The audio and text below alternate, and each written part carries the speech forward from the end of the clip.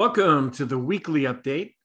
This is being prepared Sunday, July 17th, where I'll go over the action in the market of the previous week and then see how things look for the week of July 18th through the 22nd. And I apologize, I'm posting this a little bit later than usual. I needed to get away from this stuff for a little while, so I'm a little bit later than usual with posting this. Well, let's go back and talk about the week session.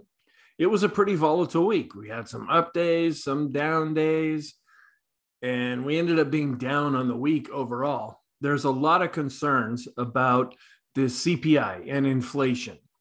And that report came out on Wednesday. There's also some real concerns about global growth, especially in Europe and specifically in Italy. They've been having some problems with the prime minister there who resigned, and then they said, no, you can't resign. And then it's just kind of a mess where there's high inflation in the European Union. And if they want to raise interest rates, well, can they do that with the problems they're seeing in Italy? That's kind of a rundown of what's happening there. The US dollar index, it's pretty much doing better than anything else right now. Now, there will probably come a day when the dollar index goes in the toilet, but it's not right now. And when you compare it to the other two major currencies of the world, the Japanese yen and the euro, the dollar is holding up really well right now.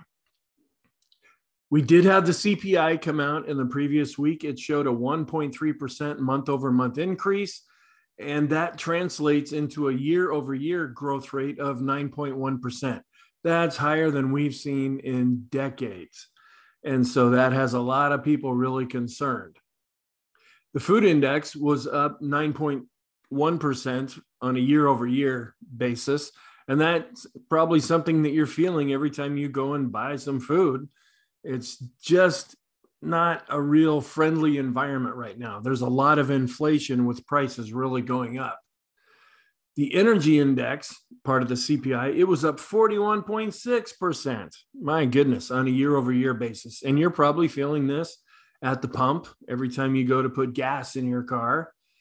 Then on Thursday, we had the PPI report. It was up 1.1% on a month over month basis. And that translates into an 11.3% rise.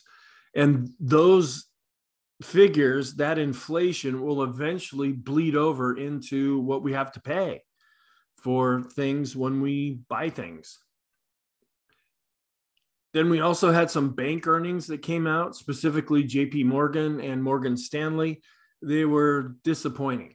So the markets didn't really like that. We're starting to come into earnings season now where that can have more of an influence on not only the stocks, the industry group, and the sector, but sometimes it can bleed over into the entire index. We also received on Friday the consumer sentiment preliminary reading, and it improved a little bit, but it's still very, very low. And I'll have a chart to show you that. So we ended up being down 0.9%. It was a down week overall. Volume was below average, which we're seeing that pretty much every day now. The technicals are negative when we're looking at the weekly charts, where there's glimmers of hope and there's some possible positive scenarios that we're looking at on the daily charts. But on the weekly basis, which is what a lot of you use to gauge when to do things in the markets, we're still pretty negative overall. The big concern right now is inflation and interest rates, as well as geopolitical concerns there's some supply chain issues that could be happening. Oil is bouncing all over the place. Fed speak, they're still pretty hawkish, meaning that they are willing to raise interest rates right now to try to get inflation under control. And then they'll worry about how's the economy doing further down the road. Earnings, as I said, they're starting to come out, and there's real recession fears. And that's the debate going back and forth until we get the final version of the GDP, this is going to be a debate. The condition of our trend is it's strengthening, it's getting stronger on the ADX chart, and it's negative overall. So here, going back and looking at the week, here's Monday, we gapped lower and had a down day. Then Tuesday, we also were going pretty much sideways and then trailed off. Wednesday, we tried to rebound a little bit, but it really didn't do all that much. Thursday, we gapped massively lower, but spent the day bouncing back up. And then we saw a lot of the damage repaired on Friday, which is where we gapped higher and then did the old smokestack look for the rest of the day and ended up closing at the high. So really the, the week ended on a positive note. Can that carry through? The Dow is down 0.2%. It's holding up the best. The NASDAQ is kind of, it's the growth area. And it's what we're really looking for if this sector rotation from value back into growth is taking place.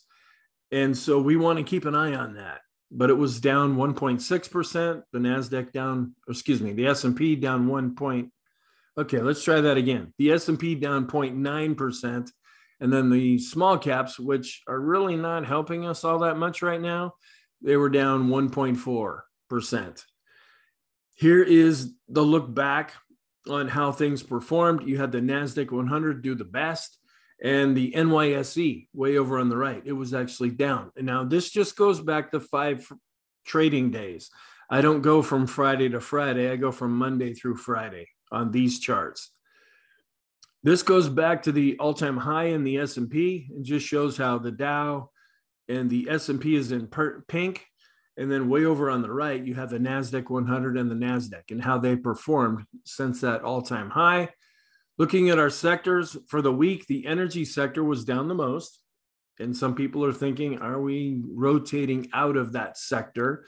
Communication materials, they were also negative in industrials as well. The only sector that was really up were staples, and they were just barely up on the week. So it was pretty negative across the board. This just goes back and look all, at all the sectors where you had discretionary doing the best, followed by tech and communication and staples. They were up. All of the rest of the sectors were down, led by energy going down the most. Here's our current market valuation. We're still fairly valued. Here is their overall chart showing how we've come down below this yellow dashed line and we're getting closer to this historical norm right here. So we're fairly valued when you take all of their different components together. Here's the one that I tend to look at the most. Here's the S&P 500 PE ratio. This dashed line is the historical average, and we're still 42% above that historical average. So we're still slightly overvalued when it comes to that. If we drop down below this yellow line, that's one standard deviation away from this dash line, and then we would become fairly valued. Here's the S&P 500 inflation adjusted. It just shows this is the upward moving historic trend line of the S&P and that we are still quite a bit above this trend line here. Looking at sentiment, we went into extreme fear territory, but kind of moved out of that slightly over the past week. And here is just showing how we spent a lot of time under 25 while we're coming back up out of that. The advance that we saw on Friday helped to take us up out of the extreme fear category. Looking at the spread between the risky loans and the not so risky loans, it's still declining ever so slightly. When it really spikes up, that is typically when there are problems with the economy. And then looking at our national con- financial conditions index, we are moving up, but we're still underneath this black line. So we want to keep an eye on this, but at the same time, we're not in real bad, a real bad situation yet. This chart is just showing how likely are we to go into a recession based on the yield curves. Typically, when it goes above 50, that's when we look at entering into a recession. Well, we're not quite up to that point yet based on the yield curves, even though we have a couple of them that are inverted. This is showing the outflows of in the financial sector, the banks and so forth. It's improving, but it's still negative overall. Then this is anytime you see these this red line, these red lines here, if they're above zero, that's considered to be healthy. That means we have good liquidity. There's a lot of people getting in, there's a lot of money going into the markets. When we drop below this zero line, that's what we call a liquidity crisis. And we are really starting to drop down. And if you pause this and look at this, it'll just show different events that have happened through the course of time. We're kind of blaming this on Ukraine right now, but there's a lot of things that were set in motion, in my opinion, well before the Ukraine situation really blew up. This is just showing how all of the central banks in the world are really raising interest rates. When this is lower, that means they're not raising rates as much. Well, when it spikes up like this, these are the global central banks together really raising interest rates. This just shows the economic data flow here and how are we looking at going in a recession. If this black line are all of the different economic indicators, and yes, they're going up. So that, and as we go up, that's the percent of probability that we will go into a recession. We can look at the gray line here. This is the three month and the 10 month yield curve. That's really going up too. So, yeah, it's looking like we could head into a recession, but we're not necessarily as high with some of these readings as we've been in the past. And then we have the kind of light blue line here. This is the S&P and the high grade spreads. This is also showing that there's a bit of an increase in going into a recession. And that's the big debate that's going back and forth right now. This is showing the Fed funds rate projections, where the dark blue line over here, this is what we've already seen. And this lighter blue line, this is what the Bank of America, that's their projection. They previously had it a lot higher with this yellow line. And then this is what the market is thinking. This that's the green line coming down here. Again, and this can change all the time with things. This is just showing on Friday that we had retail sales and they're even though they're turning down a little bit, we had a good reading on Friday and that really helped boosted things for the Friday session. So we're not rolling over as much yet as what we've been seeing in the past. We also had the AA, NAA, I can never remember that acronym. This is the active asset managers, and they're still pretty fearful overall. They were more fearful. They bounced back up a little bit, but now they're showing some more fear. And you can pretty much gauge this with if the market's up, this figure is going to go up. If the market's down, this figure is going to go down. This is the sentiment reading where we bounced a little bit up. We were at 50 and we bounced up to 51. Still very, very negative. But here's the spread between the two year yield, the red line, and the blue line, how people are feeling. And it's still very, very high. The latest reading that I had from the Rydex bear bull ratio shows that people are getting more into the bearish funds. They're not as bullish as they had been, but we're not necessarily at a spike right now either. And here's the American Association of Individual Investors, where they had been extremely pessimistic about the markets.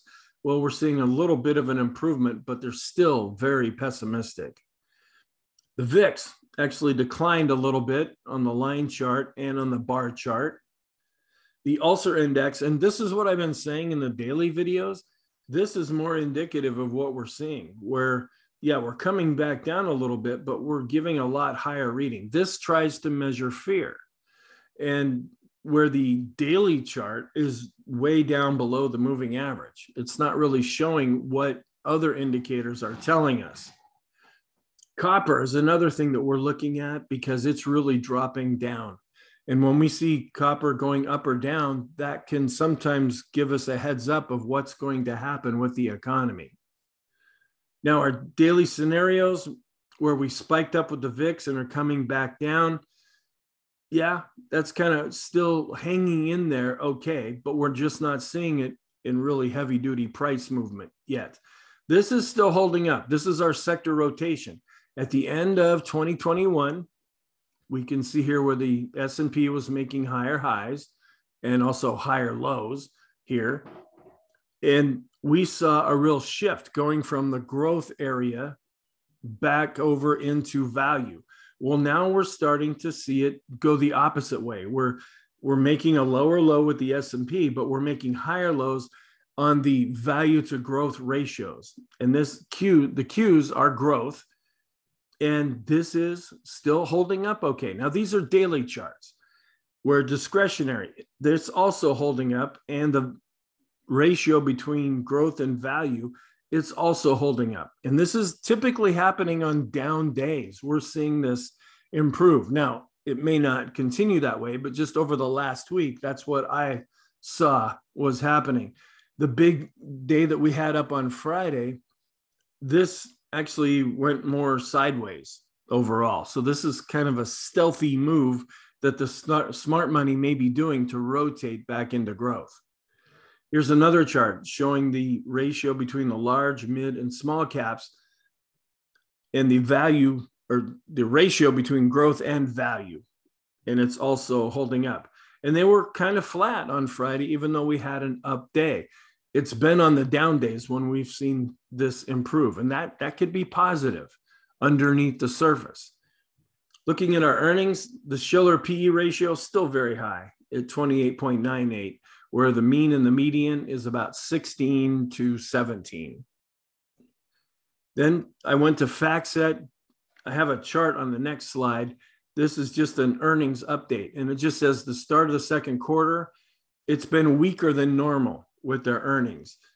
And the positive earnings and revenue surprises have been smaller than average. And so there's not a real improvement as far as earnings and revenue growth rates.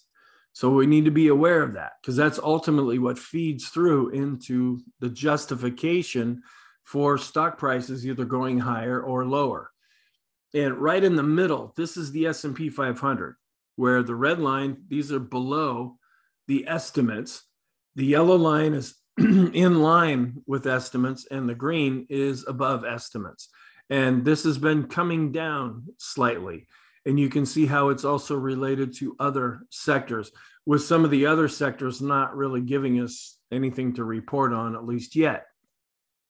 Here's the current earnings estimate put out by Morgan Stanley based on the consensus, and they're, as usual, lower than the consensus.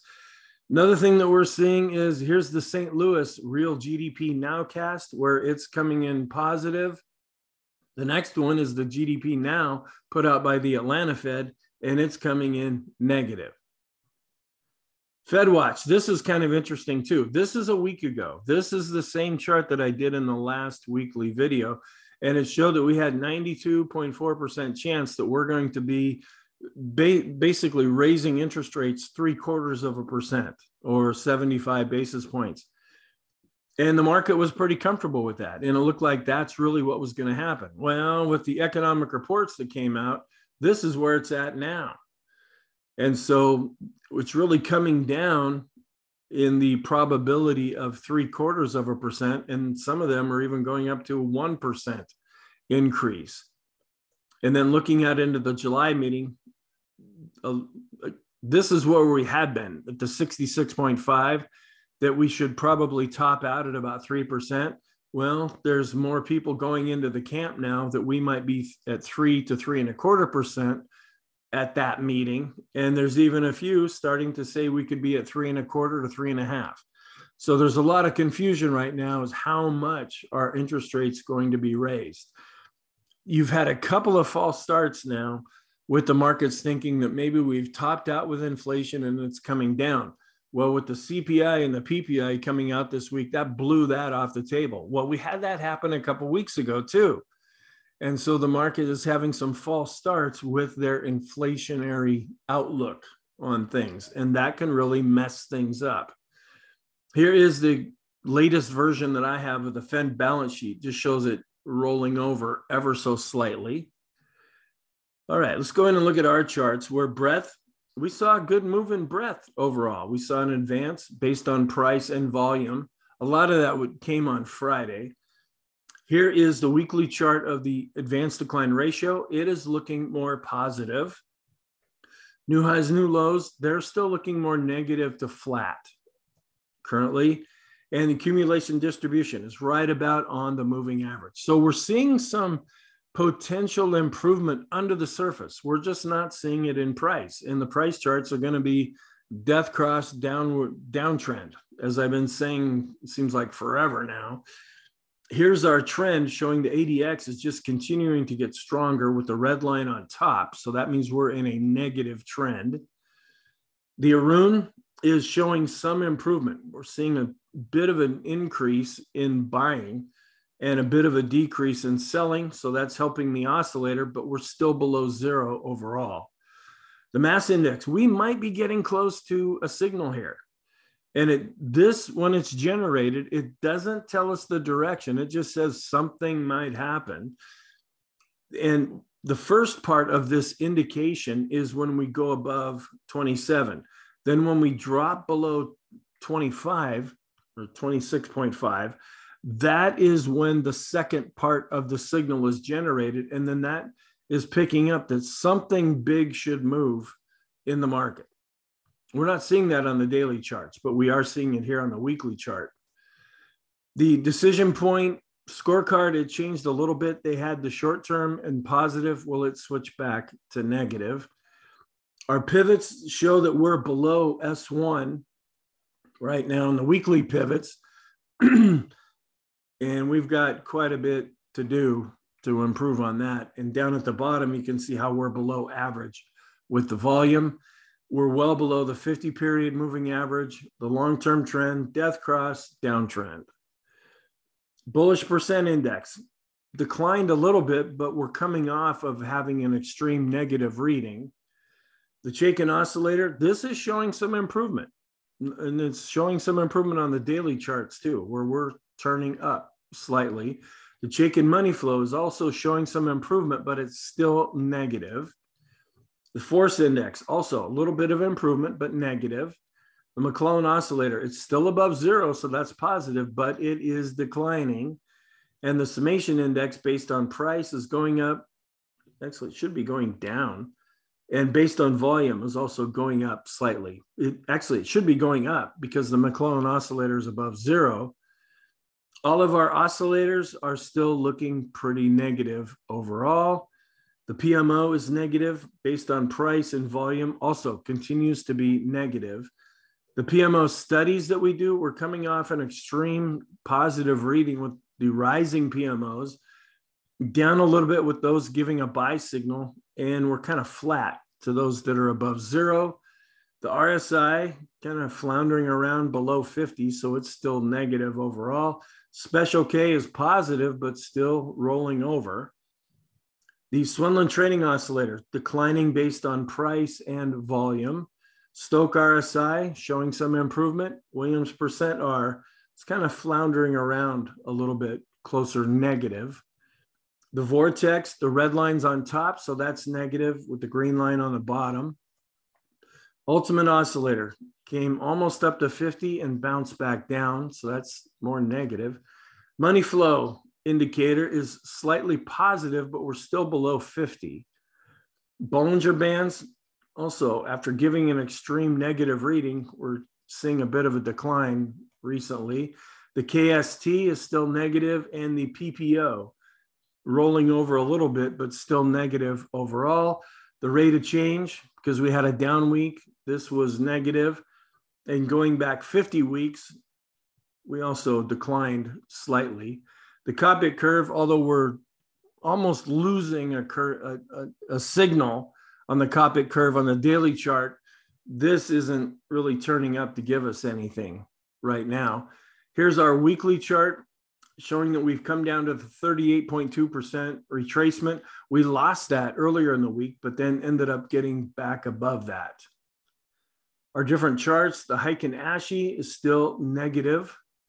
The Kagi is, whoops, the Kagi is still negative. It has, it's red. The Renko continues to be negative. The ease of movement is pretty much flat.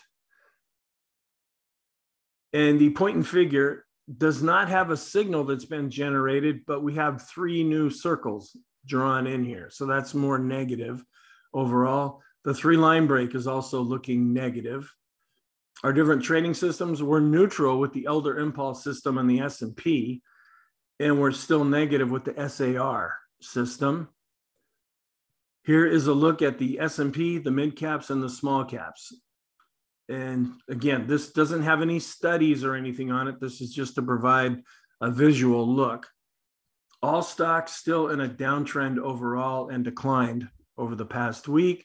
Mid caps, death cross, downtrend. Small caps, death cross, downtrend. The Dow, death cross, downtrend. NASDAQ, NASDAQ 100, NYSE, all of these, the same thing. Even the FANG stocks, even though they started to come up and play around with this moving average, but they were still down over 4% on the week. ARK is also playing with this moving average. It was down 5.87% on the week. The biggest software companies continue to be in a downtrend. Here's Dow theory showing how we've been declining with the Dow, the transports. Utilities have been holding up a little bit better, but they're starting to see some weakness. The CRB index, we're seeing the shorter term average start to roll over. And this is the weekly chart where we've been seeing a real decline here. If this starts to fall underneath this moving average, we might end up seeing a death cross, but it's going to take some, some quite a bit of time for that to work out. Gold has just been having a real difficult time. We're going through a death cross. We've been through death crosses on the daily charts. Now we're coming to a death cross on the weekly chart, and it's just been having trouble, which is very surprising because you would think in a high inflationary environment, gold should be going up. And then silver is also having a lot of trouble too. Also, a recent death cross and going down. Oil bouncing all around. It's below 100 to 97.59. The dollar, it's the one thing that's been screaming up higher. Looking at bonds, we were up about a percent on the week, but there's still in a downtrend overall. This is looking at all the different yields. The green is the US, then we have the UK, Germany, and then Japan, which is still kind of floundering sideways. But overall, we saw a decline in interest rates this past week. Bonds, they're still trying to break out against stocks. We're seeing a golden cross here, but we're not seeing a real move up yet with bonds. This is the monthly chart showing how we're breaking down a little bit. Stocks had been really outperforming, but now they're starting to underperform. Here's the intermarket analysis chart. Oil was up over 65% at one point. Now we're down in, I mean, only 33%. Still, that's a good gain, but it's half of where it was before. The dollar is what's been doing the next best after that. Gold is negative, stocks are negative, and bonds are negative. Here's the gold of the dollar. With gold going down and the dollar going up, this thing is just falling out of bed right now. Here's the gold of the S&P, where gold has really been underperforming, but it's still in an overall uptrend when compared to the S&P 500. The low volatility stocks, they're still holding up fairly well right now. Growth of value. This is what we're seeing more under the surface. Now, this is a weekly chart, so we're not going to pick up an awful lot yet, but we are seeing a bit of a bounce right here. Here's the Nasdaq 100 again growth compared to the S&P 500, not really picking up what we're seeing in the daily charts at least yet. With the rotation, here's the S&P 100. It is still outperforming the S&P 500 even though it's still in an overall downtrend. Discretionary, the things that you would like to have versus staples, the things that you have to have, it's still in a real downtrend although we're seeing a little bit of a bounce in the ratio.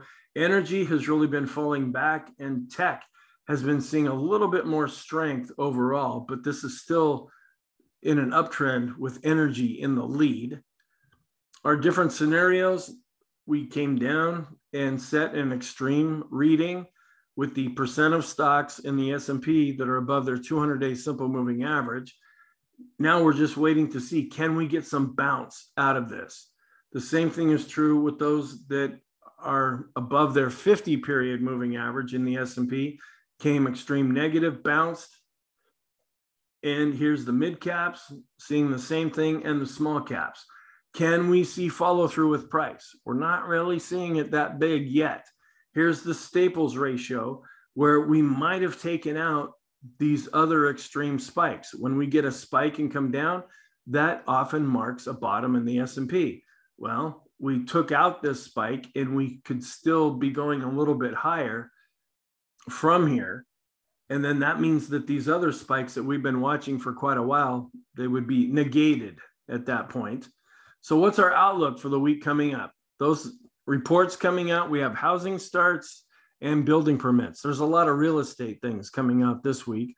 Wednesday, existing home sales. Thursday, we have jobless claims as usual. Friday, we have the IHS Markit manufacturing and services PMIs, not real big market movers in and of themselves. So, really, the focus is going to be more on real estate. Then the technicals, which, yeah, they're negative, although we're seeing some improvement. And then all of the, the different things that I talked about at the beginning. This list just keeps going on and on and on, and it doesn't really seem to change. We're down right now in the weekly charts because of all the reasons that I just, you can just stop and look at this. And the technicals are negative on the daily charts, but we're showing a little bit of improvement, but we need to see some more follow through with price. We're not really in an uptrend now, especially on the weekly charts. And but the daily charts are showing some improvement, and there's a real disbelief that the market can even go up. Some of our scenarios are still hanging in there, but again, we're not seeing a lot of follow through with price yet. And the technicals are really not helping us on the daily charts, and they're still looking fairly negative on the weekly charts with just pockets of things that are improving. And we're not sideways because the ADX is well above 20 and is negative. So thank you. Have a wonderful week. Please feel free to check into some of the daily videos where I update these scenarios pretty much every time I do a video and see if that will be helpful to you. And I'll talk to you again after next week.